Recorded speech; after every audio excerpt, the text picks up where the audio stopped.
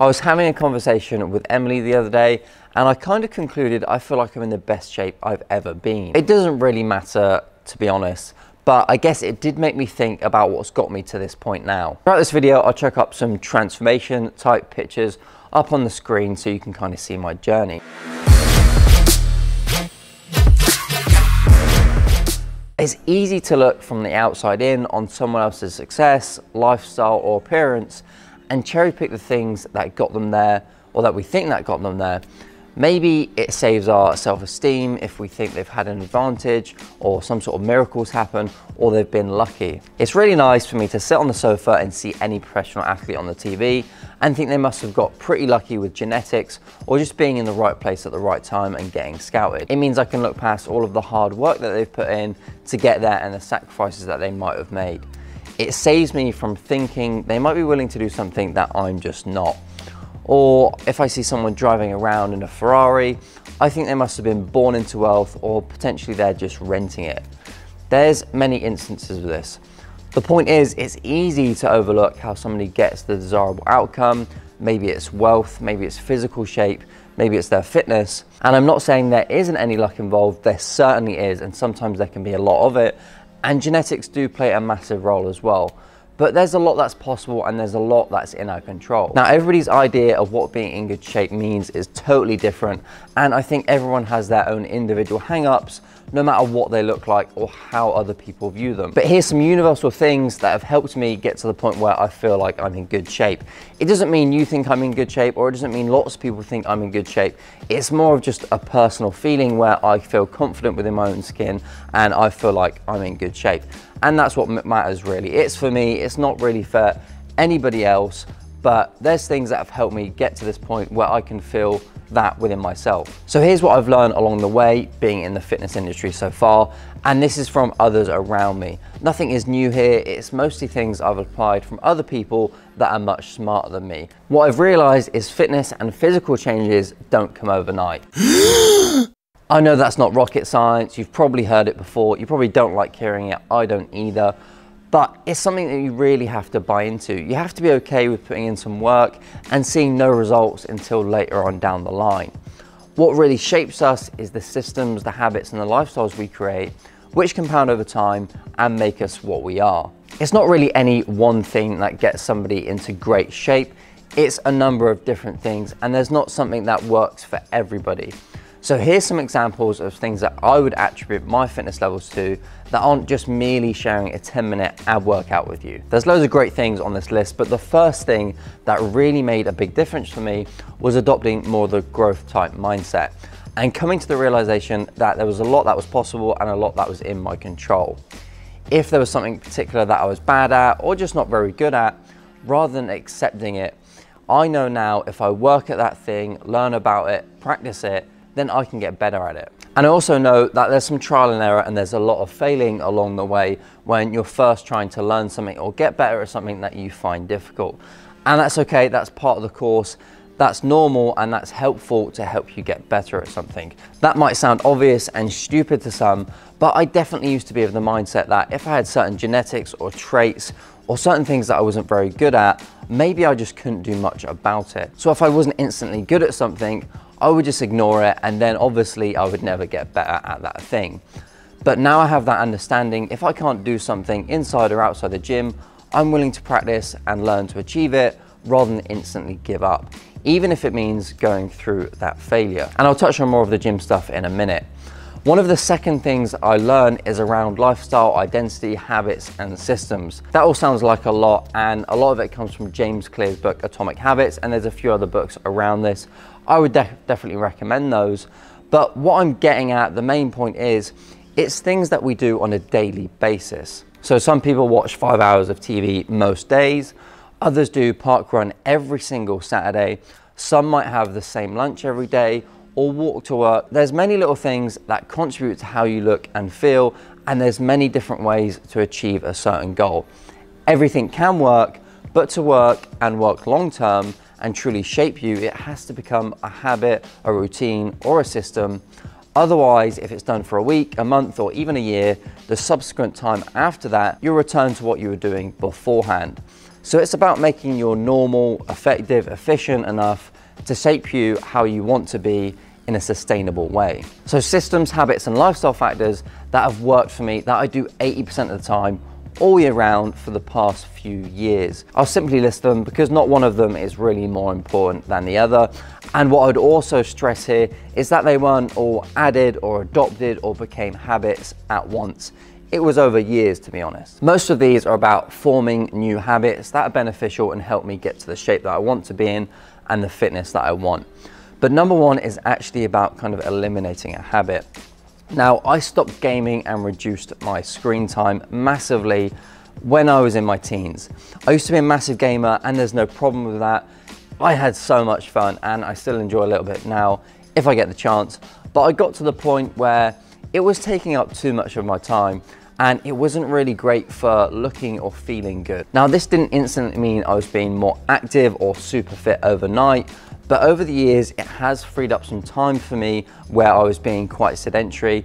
And now I've filled that with more active and more beneficial things for my goals. Number two, this is a simple nutrition thing, and that's having the same breakfast and lunch most of the time, Monday to Friday, and sometimes at the weekend as well. So it's 80% of the time I'm having at least the same breakfast and most of the time the same lunch as well. Now, this might be boring but I've learned to view food as more of a fuel source and there's things that I can do that fill me up, can be cheap, convenient, easy to prepare and help me maintain a good weight. Having the same thing all the time means it's easy for me to be super consistent. I don't need to make a decision when it comes to meals because it's already done ahead of time and the food's already there, so I can't really make a bad decision. And the foods that I've picked for these two meals just align with my goals and they fill me up. So it doesn't leave much room for me to go wrong or go off the rails, so to speak. So variety is great when it comes to food, but don't be afraid of being boring, doing what's convenient, and doing what aligns with your goals as well. Now let's go into number three, and that's strength training, at least three times per week. Strength training has shaped me massively. It's helped me put on muscle and made me feel stronger and more confident. And I also know as we age, muscle mass strength and bone strength is super key for health. So when I started out, I didn't know what I was doing at all when it came to training, but I knew one thing, and that was that it was good for me in numerous ways. I didn't see instant results overnight, but I knew it was a good thing and it felt like a good thing doing it. So I learned about it, I researched it, and I practiced it. I didn't start out by lifting loads of weights. I started on the lightest weights possible, doing machines, and at the time I was probably doing everything wrong but I was still doing something and I was trying to get better at it. And over time, I've progressed and made it into a solid habit. I have breaks sometimes every now and then, and life does get in the way, but I do want it to be part of my life forever. It's super important to me. So I make sure generally it's kept in my routine. And something I would stress here is something is always better than nothing. Even if you're not exercising perfectly, you don't have the right form or the routine is not perfect, it doesn't necessarily matter. It's still better that you're doing something and that gets you on the ladder to progressing in the right direction. Number four, I love this one. This is setting goals, taking on fitness challenges, and doing things I'm not sure are possible or I just know I'm really not very good at. By doing something I'm not good at or that I traditionally don't think that I'm good at, by doing that thing and overcoming it, it's just a massive sense of achievement and it helps build confidence massively. It also means that I'm taking on a challenge, learning something new and progressing my skills for the better. It doesn't necessarily have to be fitness related, but by having these kind of fitness challenges, it means I'm gaining physically, I'll have more motivation to train for something in particular. And when I do the challenge, obviously I'll gain something out of it as well, but also mentally. So I know it's cliche and people speak about it a lot, but I definitely would encourage anybody just to do things that you're slightly uncomfortable with. Challenge yourself, whether it's fitness, whether it's in work, whether it's anything really. And challenges are obviously different for everybody. It's not climbing up Mount Everest for everyone. It might just be stepping outside the front door every single day or the first time in a long time or turning up to an exercise class or going out for a 10 minute walk. It doesn't matter what it is, as long as it's challenging you beyond what you're already doing at the minute, then it's helping you progress in a good direction. Number five, and that's practicing discipline. I think discipline sometimes gets a bad rap. It's got some kind of negative connotations around it, but practicing discipline has definitely helped me. For the times when I'm not motivated, I really don't want to do something. And practicing discipline for me is just trying to do things in the moment that I really don't want to do.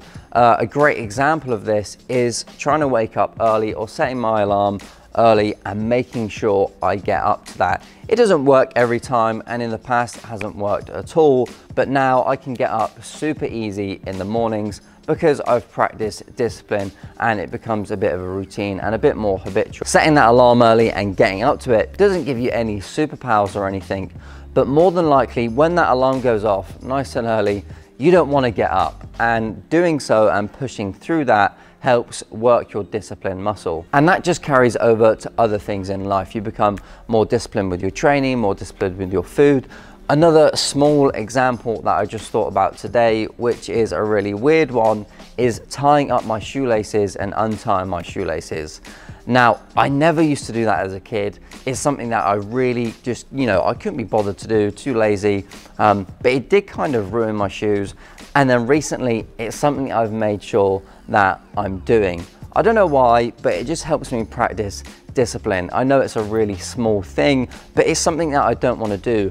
And by practicing that discipline, it helps carry over into other things. I just become more disciplined generally with my calendar, with nutrition and training, like I've said.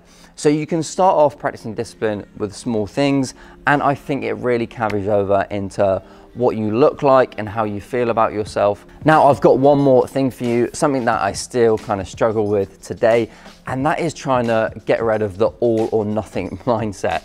It's easy to go all in on training when you're super motivated and you want to do da da da da da and absolutely smash your nutrition and be really strict on yourself but by doing so, sometimes that means that when we go off the rails slightly, we just completely give up and quit on things and go completely back the other way and sometimes much worse. So rather than doing that, I just try and be super realistic with all of the goals that I set with my training, with my nutrition, and think much more long term. I question myself if I'm making any changes, thinking, can I sustain this a year from now, five years from now, 10 years from now? If the answer is yes, then it's probably a good change.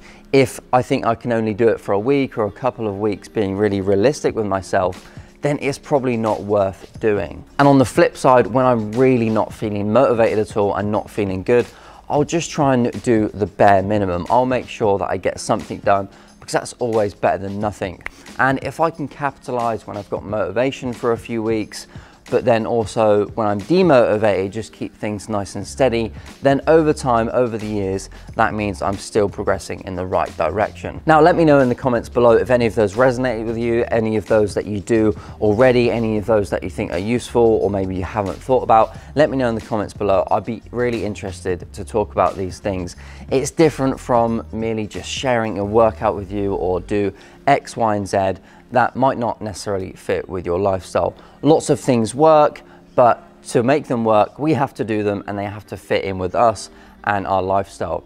So that's today's video. If you liked it as well, then please give it a like. It really does help me out. And if you're interested in more videos like this or you want to see my training journey, then hit subscribe to the channel. That would be awesome. And until my next video, have a really good one and I'll see you then.